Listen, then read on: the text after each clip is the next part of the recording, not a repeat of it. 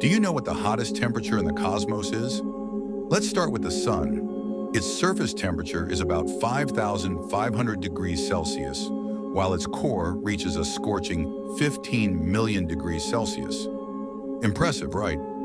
But even that is outdone by lightning here on Earth, which can heat up to a blistering 29,726 degrees Celsius, hotter than the sun's surface. Now let's talk about the Large Hadron Collider, LHC at CERN, where scientists have achieved temperatures of 5.5 trillion degrees Celsius by smashing particles together, specifically with lead ions.